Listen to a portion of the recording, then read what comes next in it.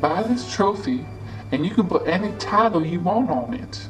You can be the world's best dresser, the world's best mother. Just buy the trophy and inscribe whatever you like to make yourself feel good. Hurry up while supplies last.